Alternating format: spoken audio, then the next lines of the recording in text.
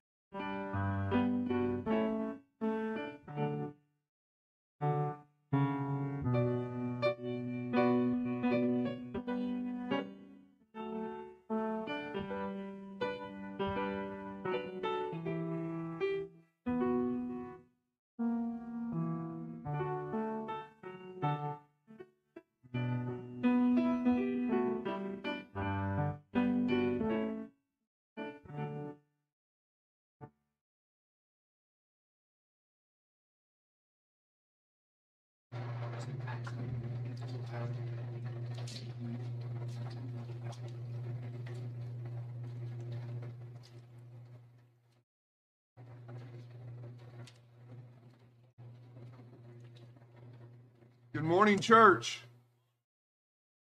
It's good to see you here this morning. We're so glad that you're here with us, and we pray that God blesses you for being here. We get the privilege this morning of starting our service with one of the two ordinances of the church. We get to celebrate in baptism. And so with that, let's bow our heads in prayer and uh, then we'll continue. Father, we thank you for this day that you've given us. We pray, Lord God, that you will be with us in this service. May your Holy Spirit touch each and every one of us here today. And as we witness this public profession of baptism, Father, we pray that you'll be with the participant. And Father, I pray that you'll be with him and give him strength. Father, I pray that you will always, continuously, and forever be with him. As he makes this statement before this congregation, we witness what he has said in his profession toward Christ.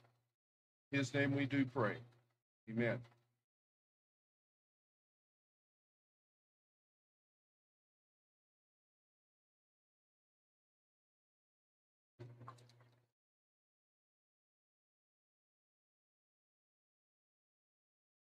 David, upon your profession of faith in Jesus Christ as Lord and Savior, I baptize you in the name of the Father, in the name of the Son, in the name of the Holy Spirit.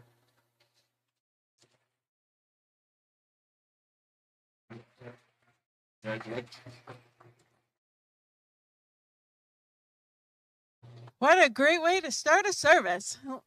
Let's stand and sing since Jesus came into my heart.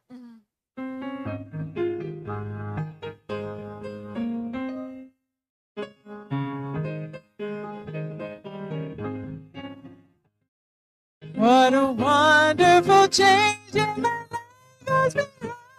since Jesus came into my heart.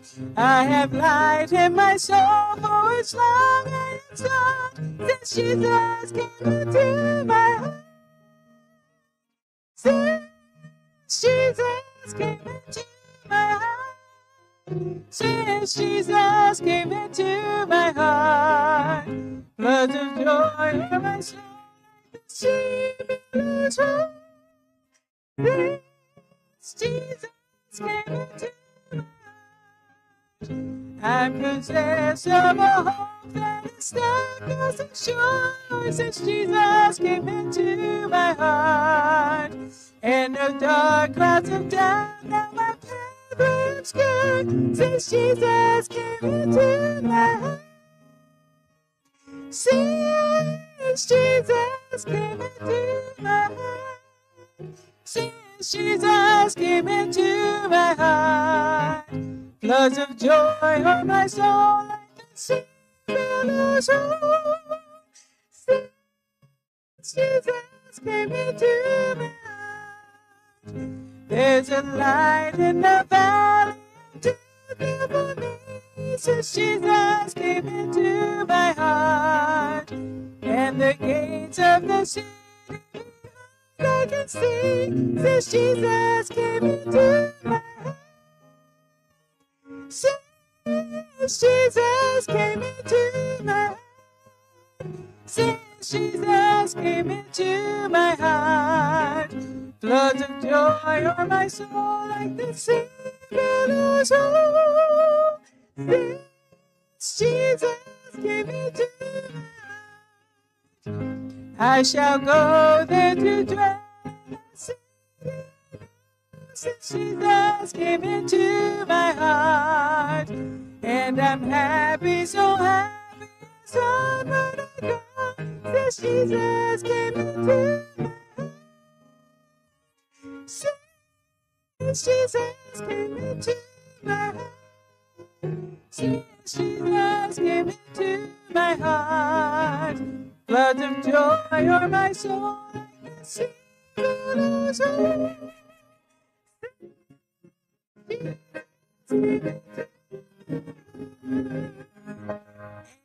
Y'all may be seated. And to give us our welcome, I'll let Michael do. Hey, uh, good morning. It is a good morning, whether you believe it or not. I like. I'm glad that everybody's here. To Mill Creek, we welcome you. If you're here for the first time, we're glad that you're here, and we want you to come back. That's a request. We're gonna request that you come back and be a part of this wonderful church of Mill Creek. I just love Mill Creek to death. Hey, been here for about 20 something years, I think now. That's a long time. But some been here for like 55 years. Yeah, that's good. That's a good thing too. But anyway, we welcome you here. And now I just ask you to bow your heads and you pray with me this morning. Oh, gracious Heavenly Father, we just want to say thanks. Thanks you each and every day, every morning, before my feet or your feet hit the floor out of your bed or your recliner, you must give thanks to God because uh, He gave you a good night's sleep. He got you up this morning, made you do some things, let you do some things. He brought you to His house, and that's that is why we go to church. We go to church because we want to praise God. We want to give Him our best each and every day because He does so much for us. Don't forget about His Son now. But we love you. And we just want to say thank you for everything that you do in our lives. We just to like just tell you that you give us that we love one another. We thank you now, Father, for those things. Have a gratitude, not an attitude, for the love that He shared for you. And we ask all these things, Father God, in your precious Son name. In Jesus' name we pray. Amen. I have an announcement that I'll do later as well, but I just wanted to make this special announcement. In your bulletin, Miss Joy Ware is Miss Joy Bullware and will be 100 years old in two weeks. And so we we want to send her as much love as possible for her birthday. So they are asking that we send birthday cards to her for the next two weeks um, just to celebrate her birthday with her. So uh, her address is on that yellow piece of paper in your bulletin. So please write her a birthday card and send that to her so she can feel the love from this church. Let's stand and sing. Oh, happy day.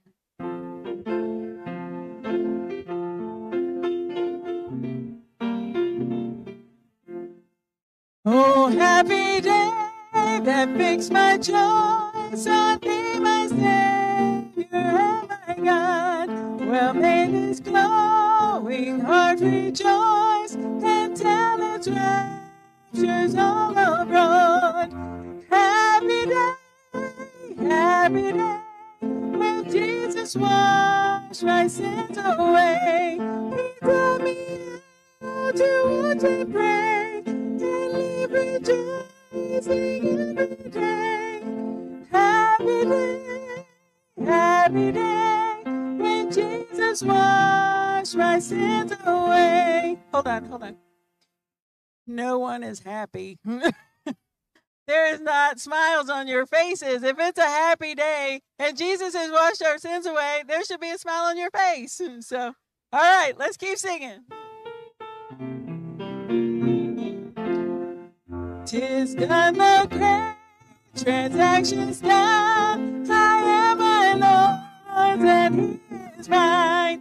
He drew me and I followed on, rejoicing in the call divine. Happy day, happy day, let me just wash my sins away. He taught me how to and live rejoicing every day. Happy day, happy day, Jesus my sins away. Now rest my long divided heart, fixed on this blissful center rest.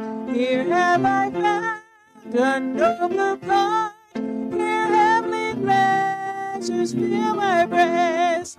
Happy day, happy day, when Jesus washed my sins away. He taught me to watch and pray and live rejoicing every day. Happy day, happy day, when Jesus washed my sins away. I have that hears the solemn vow, that vow renewed shall daily hear, till in life's brightest hour I bow, that blessed day, the bond so dear. Happy day, happy day, when Jesus washed my sins away. He took me to which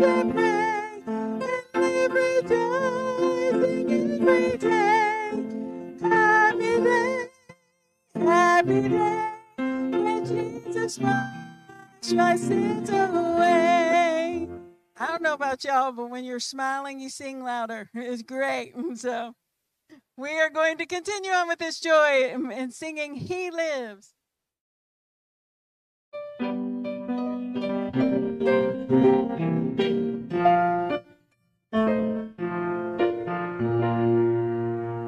I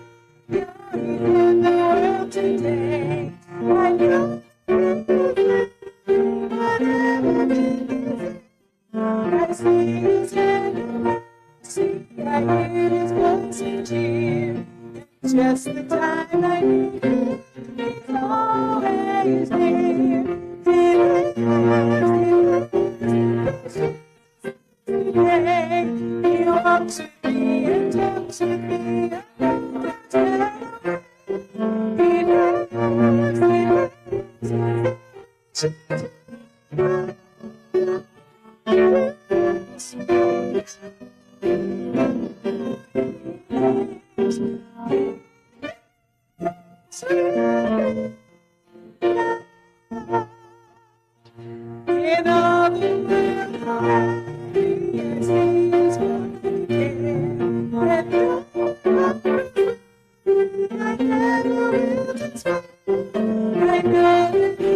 He is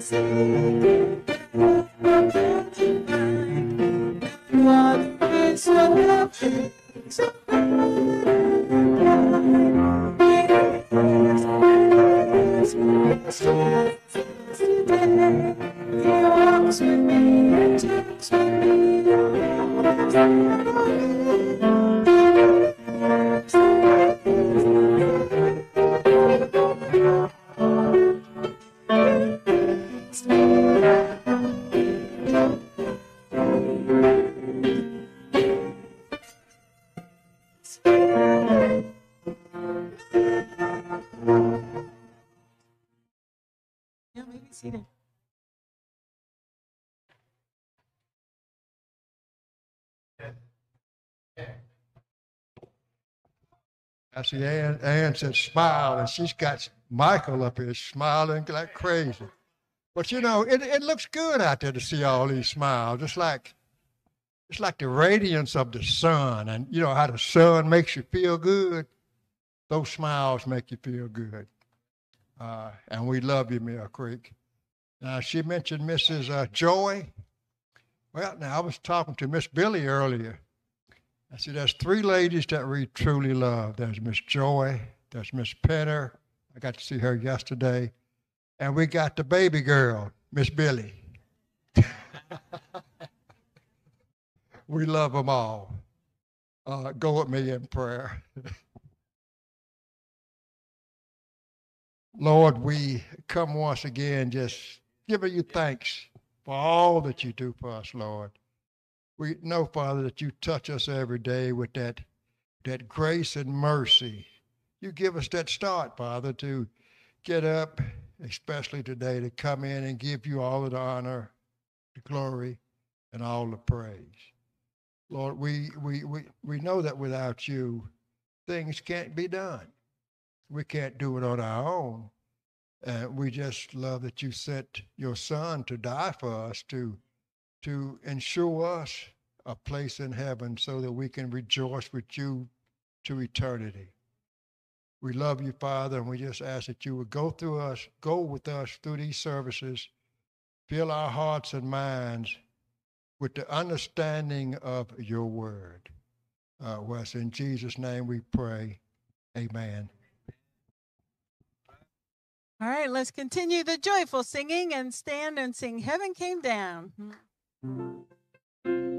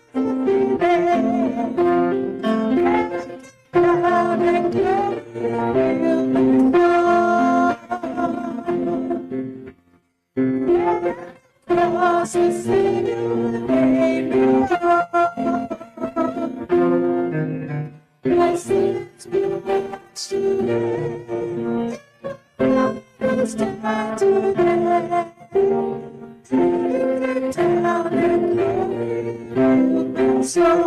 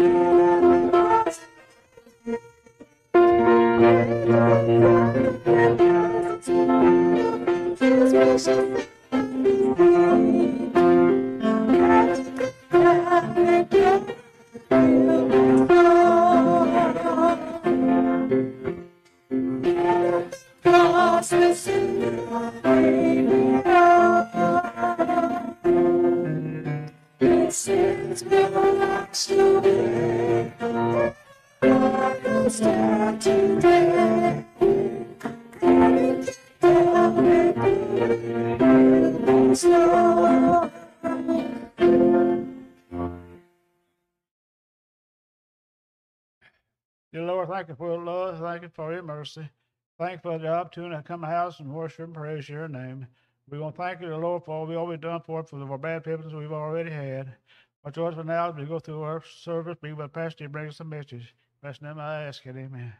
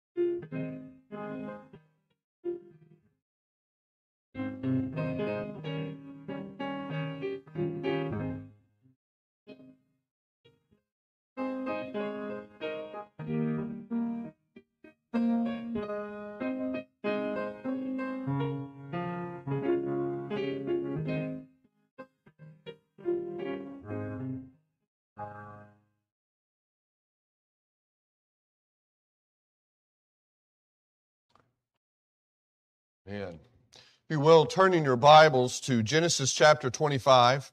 If you remember, we started a series a while back on following God, and uh, then we had Easter and all the stuff that goes with that, and we've been uh, dealing with that. We're coming back.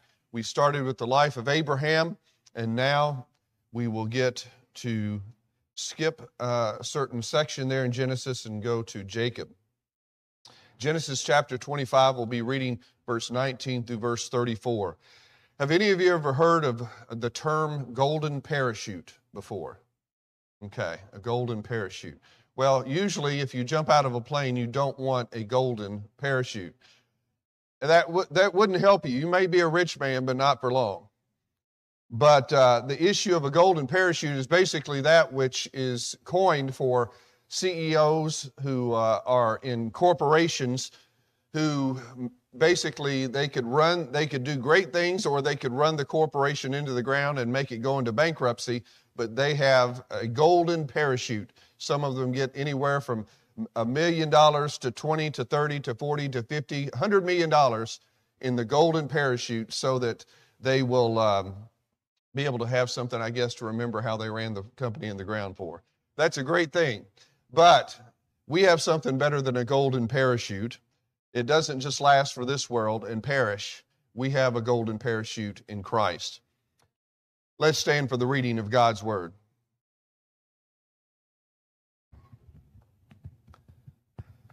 We start in verse 19. This is the generation or genealogy of Isaac, Abraham's son. Abraham begot Isaac. Isaac was 40 years old when he took Rebekah as his wife, the daughter of Bethuel, the Syrian of Padan, Padan Aram, the sister of Laban, the Syrian. Now Isaac pleaded with the Lord for his wife because she was barren, and the Lord granted his plea. And Rebekah, his wife, conceived, but the, chi- but the children struggled with together within her, and she said, If all is well, why am I like this? And so she went to inquire of the Lord. And the Lord said to her, Two nations are in your womb, two peoples shall be separated from your body. One, pe- one people shall be stronger than the other, and the older shall serve the younger. So when her days were fulfilled for her to give birth, indeed there were twins in her womb.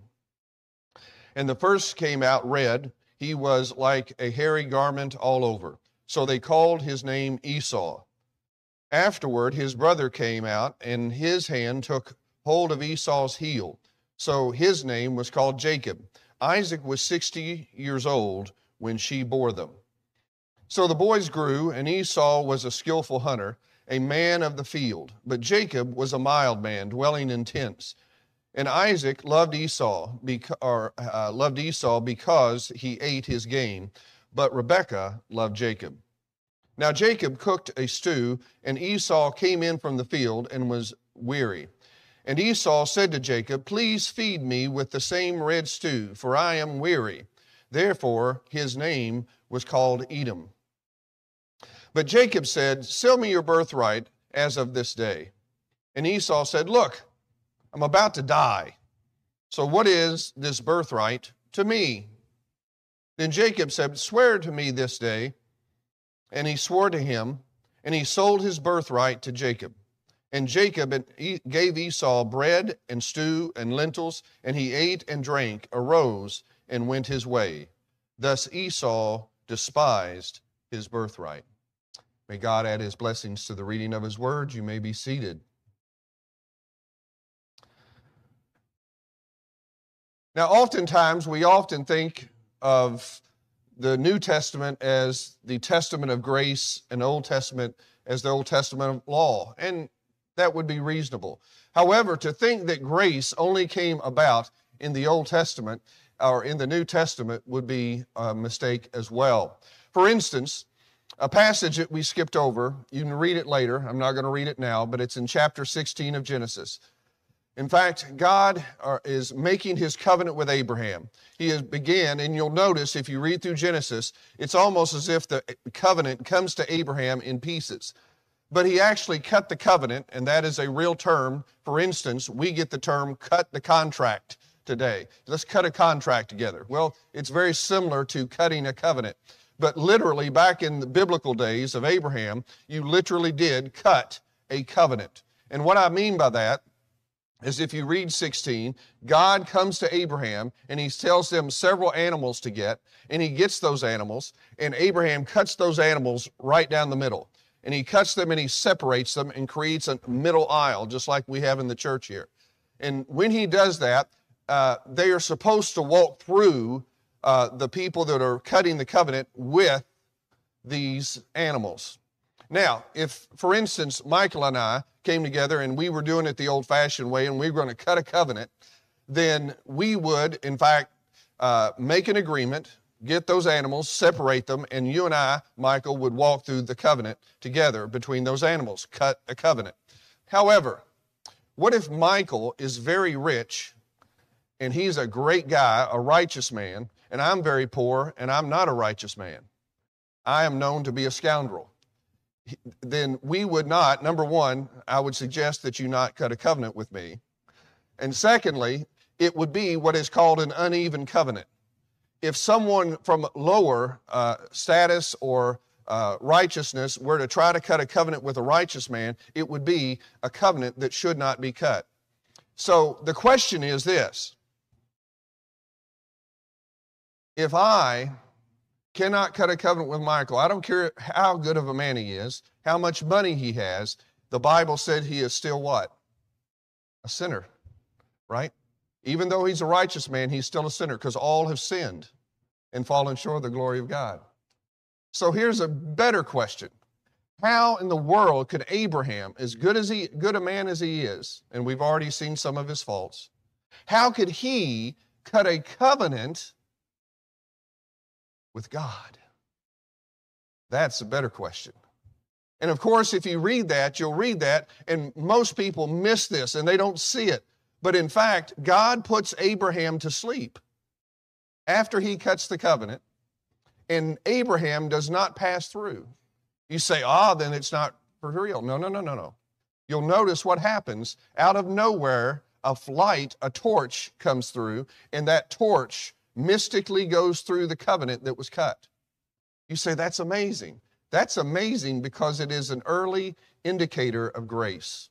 What do you mean by that? I mean by that is a precursor to what happens on a cross thousands of years later. That's why Jesus is the Son of Man.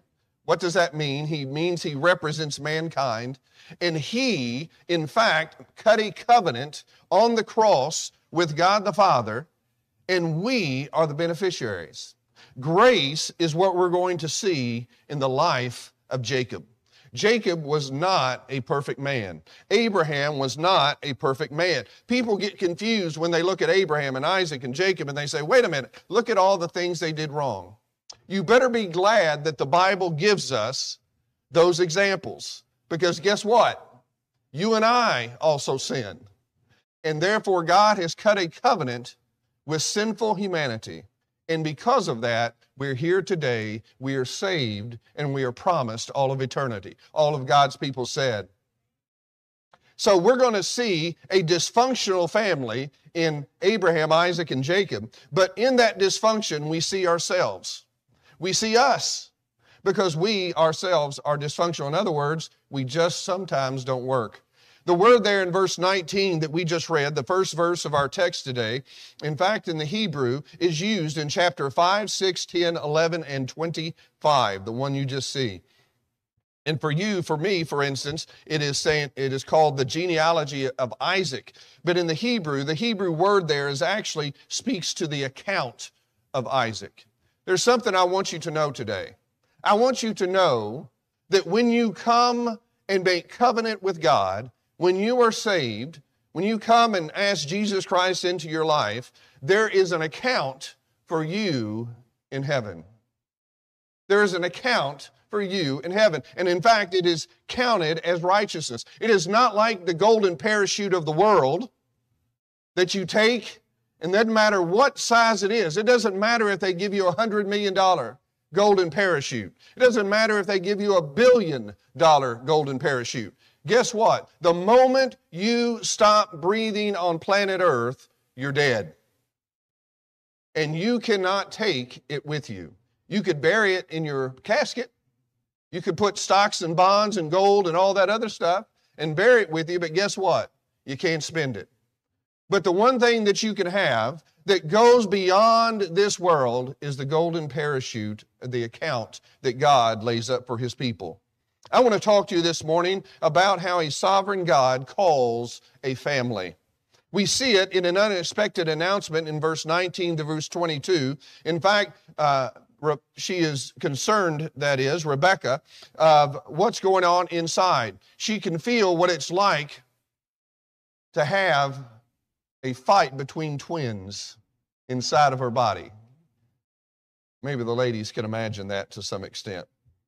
And so when we see that, all of a sudden Isaac is concerned too. And Isaac, being a man of God, knows that he can go to God and God can hear him and he will respond to him. Have any of you ever gone to God and spoken to God and know that God is listening? That's what Isaac did. How does this happen? He prays a powerful prayer in verse 21. Notice what it says. It says, Isaac prayed to the Lord on behalf of his wife. In other words, he had intercessory prayer. Have you ever prayed for another person? That's intercessory prayer. And you have to believe, my friend, you have to believe that prayer goes beyond the ceiling of the place you're praying. In fact, what often happens is we in our fast world, we think that everything is like a 30 minute sitcom, right? Everything can fall apart in the first minute of a situation comedy. And by the time you get to the end, everything is fixed. Just 30 minutes before, uh, those two girls hated each other, but now they're hugging and they're making up. And they're friends again. Everything can fall apart. The world can fall apart. Even if you go to a movie in two hours, at one minute, all of a sudden, a nuclear war is about to happen, and within a couple hours, nuclear war is averted. And we think prayer is like that. Prayer is not like that. In fact, we see it. Prayer works on God's timetable. He is the one in control, not you, not me. We see in verse 20, in fact, Isaac goes and he's 40 years old when he is married to Rebekah. But in verse 26, isn't it amazing? We think the Bible is just like any other book. No, in six verses, he goes from age 40 to age 60. 20 years have passed. Think about what's happened. In two decades, he prayed tw- uh, 20 years before, and all of a sudden now she becomes pregnant. How easy would it have been for Isaac to say, Golly, after a year, don't you think God would have answered? What about a decade? That 10 years, isn't that enough? How about two decades? I've got better examples than that. In fact, when Israel eventually goes down to the promise or goes down to Egypt and they're enslaved, they begin immediately, as they are enslaved, praying that God would deliver them. Let's see. How long did it take God to send a deliverer named Moses? How's this? 400 years. 400 years. How many people died? How many generations came about before, in fact, God sent Moses? Israel prayed for a Messiah. From the time of David, they're praying for the Messiah because David speaks and he says, From his lineage, the Messiah will come. Let me see. When was David king of Israel? Oh, a thousand years before Jesus showed up. Prayer works on God's timetable. You say, I don't like that. I don't like it either. You act like I like it. I don't like it. I'm just a messenger. You know, some people think that they can treat God just like they treat anything else in this world. Imagine if somebody got mad at the Atlantic Ocean. Maybe they went to the Atlantic Ocean and they lost some um, special jewelry or something like that, and they got mad at the Atlantic Ocean. You said, That's ridiculous. I know, I'm just trying to make a point. And they get mad at the Atlantic Ocean, and they come up to you, Brother Michael, and they said, You know what, Michael, I'm mad at the Atlantic Ocean. You think, Well, that's strange. But they said, In fact, I don't even believe in the Atlantic Ocean anymore. Is the Atlantic Ocean still there? That's what they think they can do to God. he said, Oh, okay, I'm mad. I don't believe anymore. Really? Do you think that makes God not be? And so often, what we think is that we can play the game with God just like we played with our parents or, or somebody else, and we can simply just put our lip out and just fold our arms, and we're going to. That does nothing to God. It only hurts us. It only hurts me and you. Two nations, she said, or God said, are in your room in verse 23. This is the will of God, which is in Christ Jesus, that we say in the New Testament. It reflects, however, the idea of blessing and chosenness in the Old Testament. They had no problem with a lot of these things because in those days they understood God brings the rain, and that's just the way it is. God brings drought, and that's just the way it is. You can deal with it or not. But immediately, Isaac understands that if I go to the Lord in prayer, God will hear me. I knew a missionary many years ago. She could not conceive and have children. She wanted children more than anything. She came from a large family. And she wanted to have a large family herself. What did she did not realize is that she could not have children. After several years, she admitted herself she was bitter about it, but she just went to the Lord and prayed and asked God to heal her heart. And as He healed her heart, in fact, she realized that that was a great ministry. And whenever she would go overseas and she would uh, do her work, her and her husband, her husband did her, his part, and one of her ministries was to find in the local village or town or city that they were in, find every woman who was barren and could not conceive children.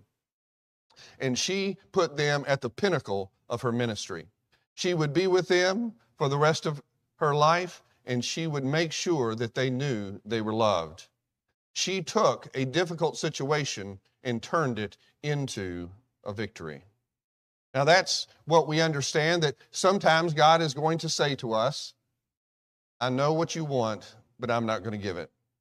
And that's what she did with that. She served the rest of her life, at least since I've known her, and she never had children. But she took a bad thing and turned it into a wonderful thing. Let me tell you another story. I've told part of this before. You know, my brother, younger brother Jeff, who lives in Louisville, he comes and every once in a while they'll come down, especially at Christmas time, and, and worship with us and different things like that. He got married a little later on in life, and they wanted to have children as soon as possible, and they tried to have children, and they couldn't have children. They tried and they tried and they tried, nothing happened. Then all of a sudden, they said, We're going to try everything we can. And I began to pray. I prayed and I prayed and I prayed. And for, for long, eventually, she was pregnant. Jessica was pregnant. And then all of a sudden I said, Well, God answered that prayer. I said, Lord, I don't want to be presumptuous, but I said, They've tried for so long.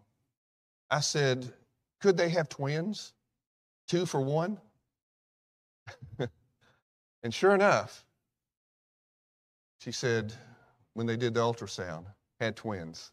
then I said, Lord, again, I don't want to be presumptuous, but thinking of my mom, I said, she has two grandsons.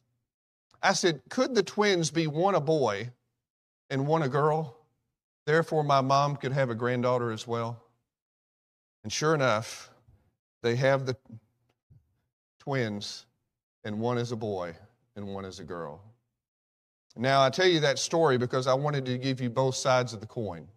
I wanted to tell you and let you know that just because someone prays doesn't mean everything that they ask for is going to come true.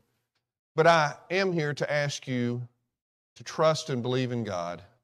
You never know what God is going to do. I've had many people in many churches. I, have I've pastored thousands of people of, over the three decades that I've done this, and, and many of them simply never have children and they adopt. And they do a wonderful thing. They take a, a difficult situation and turn it into a beautiful situation. The key is this go to God in prayer, trust and believe.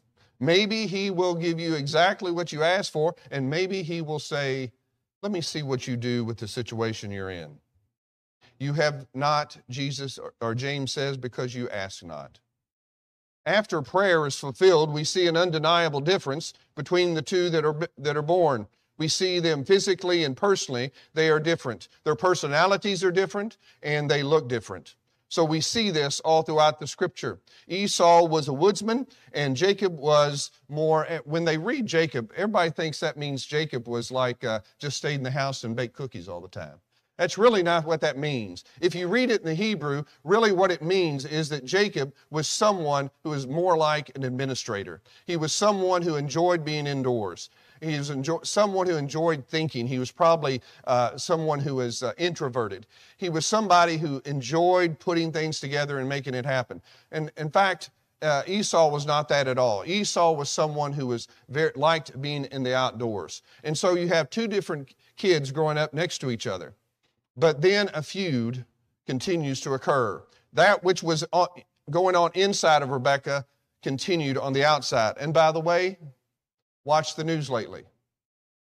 It's still going on today. It's still going on today.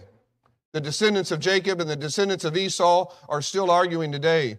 I think about the game show called Family Feud. You ever seen Family Feud? You know what that was made off of?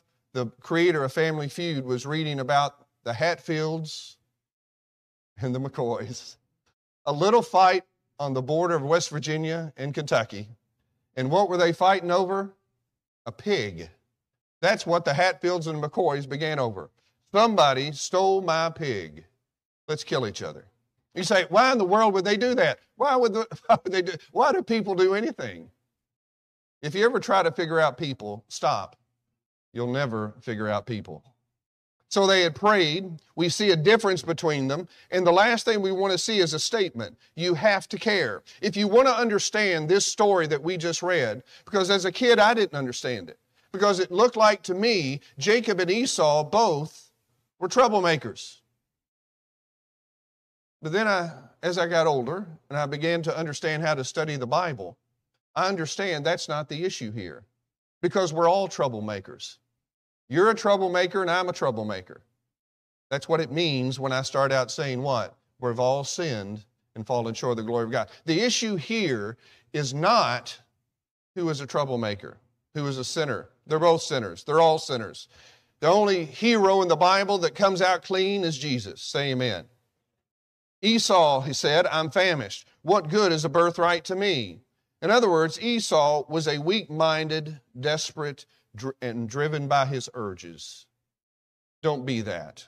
Don't be weak minded, be strong minded. Don't be desperate, be in control. Don't be driven by your urges, be driven by the Spirit of God. Someone said this here's a good word pursue wisdom, knowledge, right living, mercy, other weighty things that actually matter so that you won't foolishly set off, sell off your birthright and your blessing for what? A bowl of soup? Really? You see, that's the issue. It could breed despising characteristics within your life. In verse 33 and 34, we see this phrase Esau despised his birthright. And isn't that amazing? That's how the story ends. That's the issue. He tells you what it is. He despised his birthright. And the word there in the Hebrew means to have contempt. In other words, he looked at his birthright with bitterness and discontentment. How in the world could you do such a thing? Esau hated the responsibility that came with it. I'm going to exit here a little bit. We'll come back to the passage. But here's the issue, or one of the issues we see in Western civilization today. One of the issues we see in America today, we see way too many people who have lived in the greatest country in the history of the world. You realize that, right? Complaining about living in the greatest country in the history of the world. Are we crazy? I mean, Jacob and Esau, if they could get and they could come in that great time machine and come forward, they would see where you live and they said, You're criticizing us? We live in the greatest country in the history of the world. Do you realize Julius Caesar would love to have some of the instruments you have in your house. They never saw a flat screen TV, never saw a phone that could call somebody halfway around the world, never saw something where you could send a picture or a live picture in a phone. Do you realize there is more technology in your phone than the first Apollo 13 landing? Do you realize how blessed you are? Live in God's blessing. I'm not just talking to anybody this morning, I'm talking to the church this morning. I'm talking to a bunch of saved folk this morning. I'm talking to a bunch of folk that when we started this sort of service, we started with the great blessing of a baptism this morning. We've had so far, I think, six baptisms this year. That doesn't count all the people who came forward, joined the church, did whatever. And yet we don't live in a wonderful blessing. Do you realize that if we don't have another baptism, hope we do, but if we don't have another baptism this year, we've done something that 90% of the churches in America will not do. God is good all the time. We need to live in the blessing of the Lord and we will be grateful and we will be thank, uh, thankful. What does all of this mean? One commentator said this he said, All the people in this text were very unimpressive. I would put it this way I wouldn't say they were unimpressive, I would say they're just sinners like me and you. In fact, there's a story that Jesus tells that really encapsulates what's going on here. Here it is. There was a man one day who was walking through a field, and there he found a pearl, the greatest pearl he'd ever seen.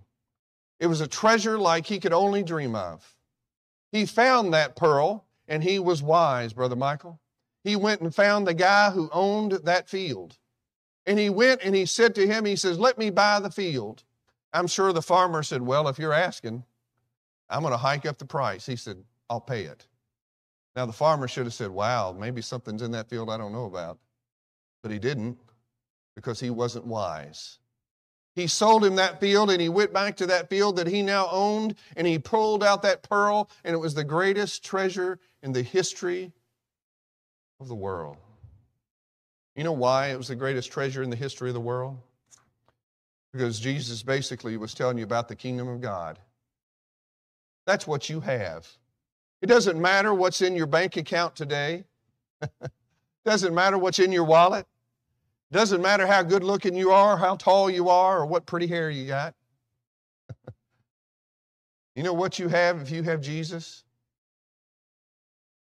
You have the greatest treasure in the history of the world. You see, that was the difference between Jacob and Esau. Esau did not realize what he had. That's the purpose of the story. Esau despised his birthright. He eventually would sell it all away and give it to Jacob. That's why in the prophecy, God told Rebekah, the older will serve the younger. There will be a greater nation and a less great nation, and they're all in your womb. And that is still true today. One nation is smaller in number, but great power. One has great number, but not so great a power. You see, the issue is, and it all comes down to this do you believe it? because that's the difference. Jacob may not have been the best guy in the world, but he understood the value of the blessing. Now, I want you to leave this place and be good people. that's not my point. I want you to go out here and be righteous men and women who help others and glorify God. But above all, Realize what you have. Don't be Esau. Don't despise what God has put in your heart. Understand that you, if you and I were to leave this world today, we would walk into a world that knows no pain. We've got it. It's ours. Don't despise the blessing. Glorify God for it. Let's stand and pray. Dear Heavenly Father, Lord God, we thank you. We thank you this morning that we can come together and understand and know that we have the greatest treasure in the history of the world. We have the pearl of great price. We have the kingdom of God living inside of us. There is not a thing in this world that can be taken from us that is given from you. and so, Lord, I pray that we will live in that blessing, that we will have an attitude of gratitude, that we will leave this place and we will realize there are millions of people on planet Earth who wish they had what we have. We have every reason to sing hymns this morning. We have every reason to pray. No matter what comes our way, Jesus is with us. In Jesus' name we pray. Amen.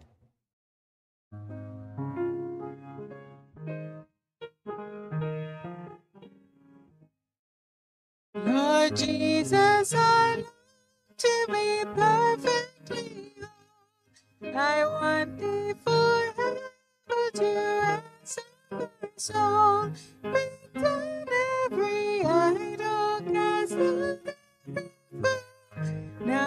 Wash me and I shall be than snow. Whiter than snow, yes, whiter than snow. Now wash me and I shall be whiter than snow. Lord Jesus, for this I most humbly entreat. I wait, blessed Lord, at thy crucified feet. By faith for my cleansing, I see blood flow. Now wash me I shall be whiter than snow. Whiter than snow, yes, whiter than snow.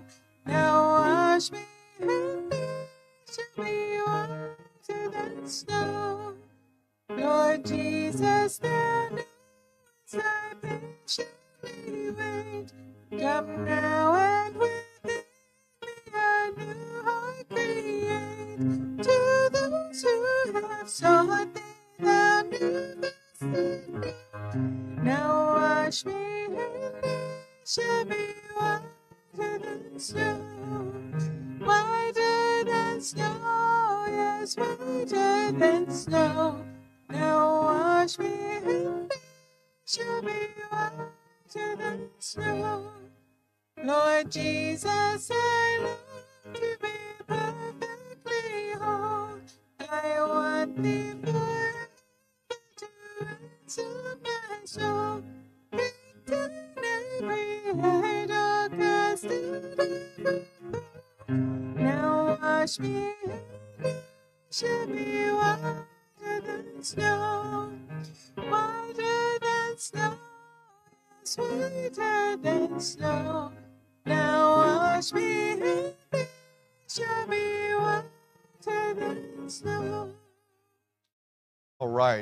Forward dismissed. Ann, you have announcements for us? I do.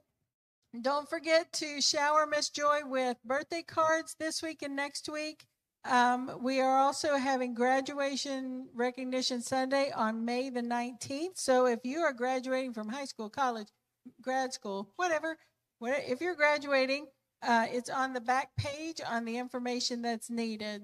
Um, so get that to us by no later than May 5th. And then Bean and Bailey is coming in two weeks. It's only two weeks away. So we need to tell the world, friends, family, neighbors, people at the store, anybody that will um, listen and, t- and, and come and join us. We want a great crowd. We're going to have lunch afterwards, and there's a sign up sheet in the back. So if you want to be a part of that, um, we'd appreciate it. Um, we are having a simple lunch of sandwiches, chips, and dessert. So it's um, the meat and cheese are provided, but we would need um, everything else. And then um, our ladies' lunch and learn is this next Saturday at, on April 20th at 10 o'clock. We are doing purifying and storing water, and there is an activity to be done with that, so you don't want to miss it.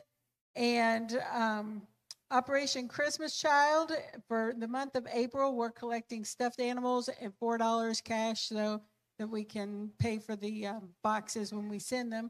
And Bible study tonight, we're studying Revelation 17. We are moving our way through. Hmm. Five All o'clock. right. All right, very good. How many of y'all have friends? Uh, some of you are, yeah, okay. Bring a friend with you on the 28th for Bean and Bailey. Uh, some of you remember. How many of you remember them coming before? Okay, so they they were purely a uh, Christian comedy uh, duo and also a singing duo at the time. Uh, now they do revivals. They'll still be funny and they'll still uh, sing and lead us in worship and stuff like that that Sunday morning. But uh, they'll also be preaching the service that day. So make sure you bring a friend and uh, we'll have a good time that morning. And then afterwards, we'll go down and we'll have a wonderful time in fellowship and food together. So Mayor? remember that. Bring your friends. We're doing a love offering for them as well that day. Yeah. So just remember that, and uh, we'll go from there. Um, how many of you noticed it was on, it's gone now, but it was on the screen? It says, uh, We're shutting down. Please wait. It said that up there. How many of y'all saw it? Yeah, if you, there you go. Some of you are paying attention. All right, we are getting ready to shut down. Uh, please wait. We're going to pray first. So I thought that was funny. So, Brother Ben, will you lead us out in prayer?